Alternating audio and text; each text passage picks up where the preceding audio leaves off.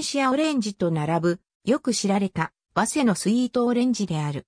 花頂部にへそに似たくぼみがあることからこう呼ばれる。冬から春にかけて多く流通し、生食やジュースに利用される。旬は3月から4月。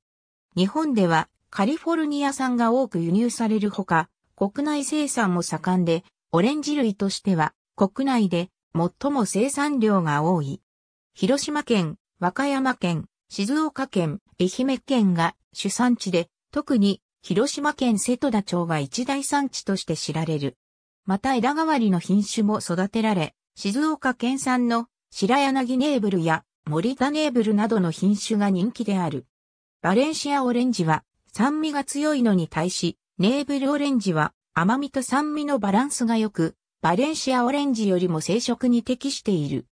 日本における2010年の収穫量は6339トンであり、その内訳は、広島県33%、静岡県25%、和歌山県17%である。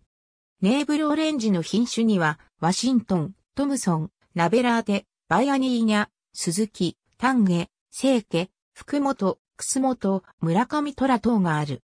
カリフォルニアのすべてのワシントン種は、1873年にワシントン DC にあるアメリカ農務省の温室から送られた2本の苗木が元となっている。